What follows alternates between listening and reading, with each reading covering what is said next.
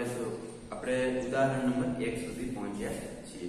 તો ઉદાહરણ એક વિશેની આપણે આગલા લેક્ચરની અંદર બધું બેઝિક ઇન્ટ્રોડક્શન આપણે જોયેલું હતું. હવે ઉદાહરણ એકમાં શું કહીએ છીએ? કે જો એ બી અને સી એક રેખા પર આવેલા હોય, એક રેખા પર આવેલા હોય, તો ત્રણ બિંદુઓ હોય છે. આપણે એ બી સી એક રેખા પરના ત્રણ બિંદુઓ આપણને આપેલા છે. કોઈ પણ એક રેખા છે. એના ઉપરના ત્રણ બિંદુ એ બી અને સી આપેલા છે.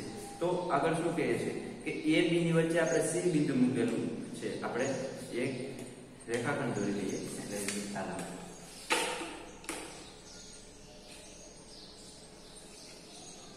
તો આ પ્રકારની કોઈ રેખા છે તો એ બી અને સી બિંદુ છે હવે એ સી ની વચ્ચે ક્યાંક બી બિંદુ આવેલું છે એવું આપણે અહીંયા કહેવામાં આવેલું છે કે એ સી ની વચ્ચે આ એ આ સી વચ્ચે ક્યાંક બિંદુ બી વચ્ચેનું બિંદુ બી છે તો અહીંયા આગળ આપણે સાબિત શું કરવાનું છે કે સાબિત કરો. આપણે આકૃતિ પણ આપેલી સાબિત કરો કે AB BC AC થવું જોઈએ.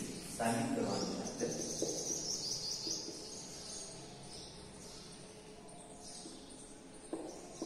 AB BC AC થવું જોઈએ. આવું આપણે આ પ્રમાણે સાબિત કરવાનું કીધું છે. અને આ આ પ્રકારે આખા રેખા રેખા આવી છે. એની C ની વચ્ચેનું કોઈ બિંદુ B આવેલું તો અહીંયા આગળ આપણે કેવી રીતના કરશું કે આપણને ખ્યાલ જ છે, એક રેખા આપણે AB લઈએ અને બીજું BC લઈએ, AB અને BC. આ બંને ટુકડાને જો આપણે ભેગા કરીએ, AB BC, તો શું થઈ જવાનું? AC થઈ જવાનું. તો આ એક રેખાખંડ, આ એક રેખાખંડ, આ બંને રેખાખંડને ભેગા કરીએ તો એક AC રેખાખંડ થઈ જશે. એ આના ઉપર તો સંપાતિત છે. તો એના ઉપર તો ડાયરેક્ટલી આપણે કહી શકીએ કે AC છે એ B પરનું જ બિંદુ છે. AC છે એ B પરનું છે આપણે ખ્યાલ છે એ બી પ્લસ જો આ BC કરી દઈએ. બી પ્લસ BC તો આટલો પ્લસ આટલો ભાગ, તો એ આખા આખું થઈ જશે? AC થઈ જશે. કારણ કે જે આ AB છે, એ બી આટલો ભાગ અને આ BC આટલો ભાગ. જો આ બંનેને ભેગો કરીએ તો AC થાય છે. AC ઓટોમેટિકલી આપણા આખી આખી આ રેખા છે, એના ઉપર સંપાતી થાય છે. સંપાતી એટલે આ આ સ્કેલ છે, એની ઉપર બીજી સ્કેલ મૂકો તો આખા આખી ઢંકાઈ જાય, એ પ્રમાણે થઈ જશે. તો એના ઉપરથી આપણે ઓટોમેટિકલી AC પરનું બિંદુ કયું છે? B બિંદુ આવેલું છે. તો આ પ્રમાણે આપણે એની કહી શકીશું.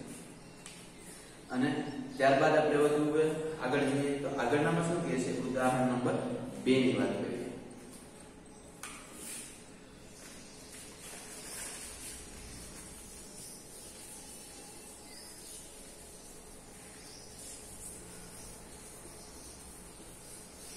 ત્યારબાદ ઉદાહરણ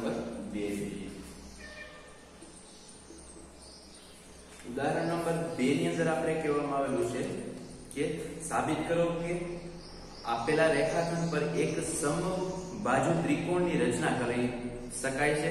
એક રેખાખંડ આપેલો છે. એક રેખાખંડ દોરેલો છે. આ એક રેખાખંડ છે.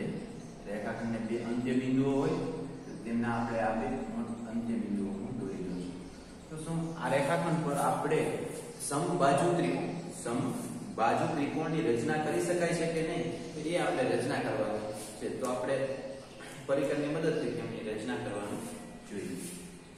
તો આપણે સમબાજુ ત્રિકોણની રચના કરવાની છે. તેના મુજબ આપણે આ રીતે આની બાજુ છે, એટલી જ આપણે બધી બાજુઓ રાખવાની છે. તો આપણે આ એક પરિકરને એટલું ખોલી લઈએ. એક ચાર ઉપરથી મારી આંતરિક ચાર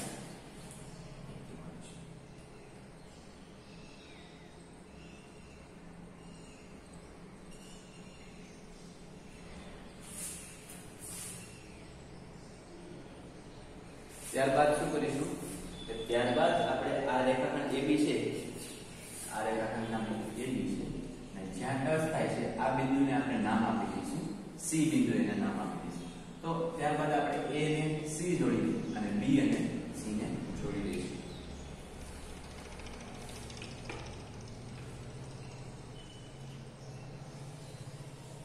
એથી C ને જોડો અને C થી B ને જોડો તો આ જે આ પ્રકારનો જે ત્રિકોણ બન્યો છે એ ત્રિકોણ કેવો હશે તો કે સમબાજુ એટલે કે AB જેટલી બાજુ કઈ હશે BC BC જેટલી બાજુ કઈ હશે AC તો આ પ્રકારના ત્રિકોણને આપણે સમબાજુ ત્રિકોણ કહી શકીશું અહીં AB જેટલી BC થઈ જશે અને BC જેટલી BC જેટલી બાજુ થઈ જશે AC એટલે કે બધી બાજુ સરખી થઈ જશે અને આ જેટલી BC છે એટલી થઈ જશે તો આ મુજબ આપણે કહી શકીએ બધી બાજુ સરખી હોય તો તેથી આપણે સમ બાજુ ત્રિકોણ સરખી શકીએ બધી બાજુ સરખી હોય સમ બાજુ ત્રિકોણ આપણે તેને કહી શકીએ છીએ તો આ ત્રિકોણની વાત છે ત્યારબાદ હવે આપણે આગળ જઈએ હવે પ્રમેય છે પાંચ પોઈન્ટ એક પ્રમેય નંબર પાંચ પોઈન્ટ એક ની વાત કરીએ તો પ્રમેય પાંચ પોઈન્ટ એક ની અંદર આપણે એવું કહેવામાં આવ્યું છે કે બે ભિન્ન રેખાઓ બે ભિન્ન રેખાઓમાં એકથી વધુ સામાન્ય બિંદુ ન હોઈ શકે બે ભિન્ન રેખાઓ છે એની અંદર એકથી વધુ સામાન્ય બિંદુ ન હોઈ શકે, તો તે વિશે આપણે વધારે સમજ મેળવવાની છે. તો કેવી રીતના હોઈ શકે છે કે ના હોઈ શકે એ આપણે જોવાનું છે. પ્રમેય નંબર છે પાંચ પોઈન્ટ એક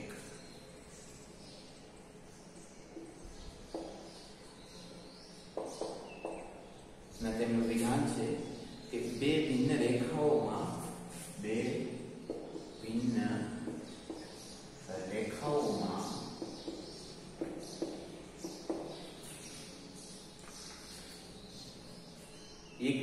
એકથી વધુ સામાન્ય બિંદુ ન હોઈ શકે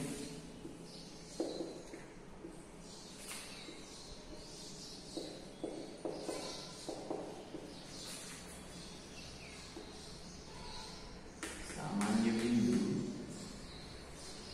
ન હોઈ શકે હવે આપણે બે ભિન્ન રેખાઓ લેવાની છે બે અલગ અલગ રેખાઓ લેવાની છે હવે બે અલગ અલગ રેખાઓની અંદર એકથી વધુ સામાન્ય બિંદુ હોઈ શકે કે નહીં એ આપણે જોવાનું છે આપણે એમ બે ભૂમિ રેખાઓ દોરી દઉં. ધારો કે એક અહીંયા રેખા દોરી, બીજી રેખા દોરી દઉં અહીંયા. તો અહીંયા તો એક પણ સામાન્ય બિંદુ નથી, કારણ કે બંને કેવી છે રેખાઓ સમાંતર છે? આ બંને રેખાઓ સમાંતર સમાંતર રેખાઓ છે, ત્યારે એક પણ આપણે સામાન્ય બિંદુ મળશે નહીં. હવે અહીંયા આપણે શું કહીએ બે ભિન્ન રેખાઓ એકથી વધુ સામાન્ય બિંદુ નથી. એકથી વધુ મળે કે નહીં, એ આપણે જોવાનું છે. આ એક પહેલા નંબરની આખી કન્ડિશન છે. બીજા નંબરની કન્ડિશનની અંદર શું જો આપણે જોઈ શકીએ. આ એક રેખા છે બીજી રેખા કોઈ આ પ્રમાણે દોરી તો આ જે એક રેખા L છે, આ એક રેખા M છે, એની અંદર આપણે આ એક બિંદુ છે, એને આપણે XY જેમ ગમે તે નામ આપણે x નામ બિંદુ આપણે તો આ બંને રેખા એક જ સામાન્ય બિંદુ મળે છે. એકથી વધારે ક્યારેય સામાન્ય બિંદુ મળી શકે નહીં. જો બે ભિન્ન રેખાઓ હોય તો ભાઈ સમાંતર કરજો આપણે આના આ- આ રેખા ઉપર જ બીજી રેખા સંપાદન કરજો તો એ વાત અલગ છે. તો એ રેખા બે અલગ ના કરી શકાય, પણ આપણે બે ભિન્ન રેખાઓની વાત કરીએ છીએ. તો બે અલગ અલગ રેખા હોય ત્યારે ફક્ત એક અને માત્ર એક થી વધુ તો ના જ મળી શકે. એક મળી શકે, એક પણ ના હોય એવી પણ કન્ડિશન આવી શકે. પરંતુ એક થી વધુ ક્યારેય પણ હોઈ શકે નહીં. તો આ થયો આપણો પ્રમેય કે બે ભિન્ન રેખાઓમાં એક થી વધુ સામાન્ય બિંદુ ન હોઈ શકે. હેલો ફ્રેન્ડ્સ પુરુષાર્થ એજ્યુકેશન ભણવડમાં આપનું હાર્દિક સ્વાગત છે.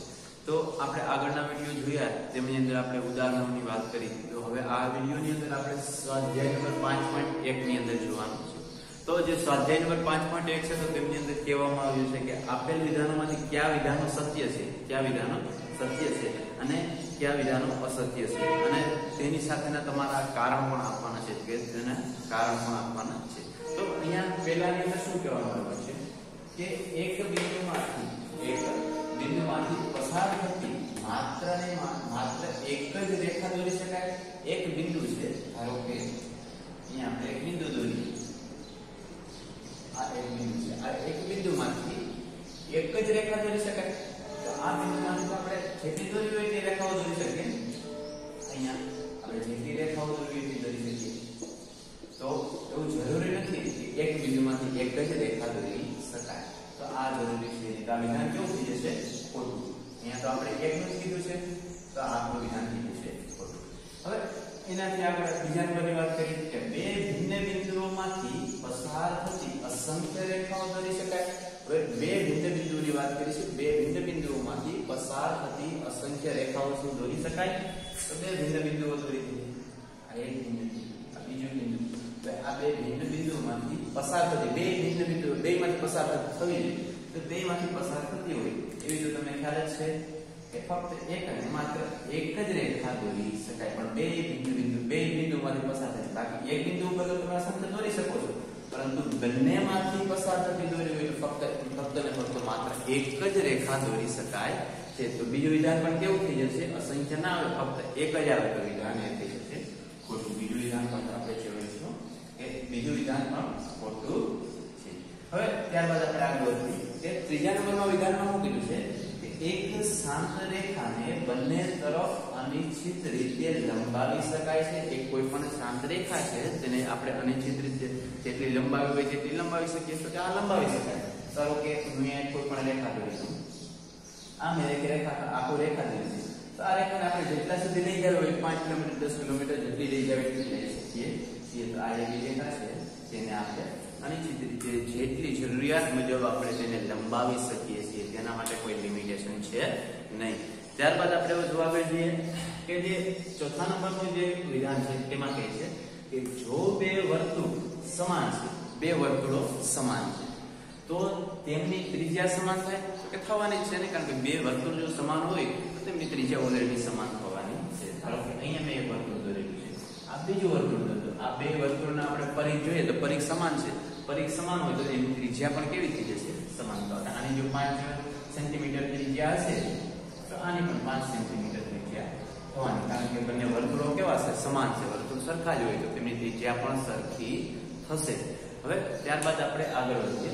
જે પાંચમા નંબરનું વિધાન છે તે નીચેની આકૃતિમાં આપણે તમારા ટેક્સ્ટ બુકની અંદર પણ આકૃતિ આપેલી છે, અહીંયા પણ દોરેલી છે. નીચેની આકૃતિમાં AB બરાબર PQ AB જેટલું શું છે?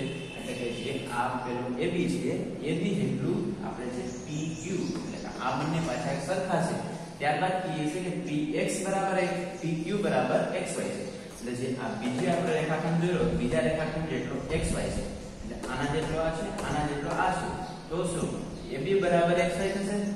આના જેટલો આ હોય, આના જેટલો આ હોય, તો આના જેટલો આ થાય કે ના થાય, એ જોવાનું. ધારો કે આપણું માપ લખી નાખીએ આ પણ છે દસ સેન્ટીમીટર. એ બી કેટલો છે? દસ સેન્ટીમીટર. તો દસ સેન્ટીમીટર AB હોય તો આ પણ કેટલો થાય છે? કારણ કે અહીંયા કીધું બી બરાબર PQ છે. આ AB છે, આ PQ તો આ પણ કેટલો થવાનો?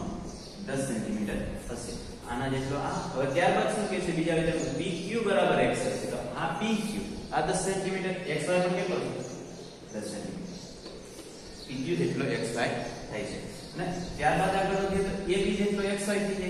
તો સાહેબ, આ રીતે જોવાનું છે તો AB જેટલો xy થાય કે નહીં? તો આ 10 છે આ 10 છે. તો આ પણ કેટલા થઈ જશે. ઇન્ડિવિડ્યુઅલી 10 થઈ જશે. ધારો કે આમાં આપણે એવું પણ એક્ઝામ્પલ લઈ શકીએ કે કોઈ પણ, ધારો કે રામ છે.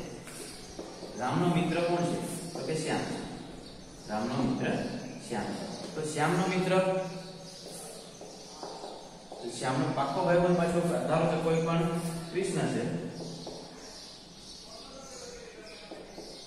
તો કૃષ્ણ અને રામ એકબીજાના પાછા શું થવાના? ભાઈબંધ થશે. ધારો કે રામનો મિત્ર શ્યામ છે. રામનો મિત્ર શ્યામ છે અને શ્યામનો મિત્ર કૃષ્ણ છે. તો રામ અને કૃષ્ણ ફરીવાર પાછા ભાઈબંધ થશે. કારણ કે ભાઈબંધનો ભાઈબંધ શું થાય? ભાઈબંધ થાય એ પ્રમાણે. અહીંયા પણ આપણે લખી શકીએ. એ જો પી જો પીક્યુ હોય. અને પીક્યુ જેટલો એક્સ વાય હોય તો એ બી અને એક્સ વાય બે પાછા સરખા થશે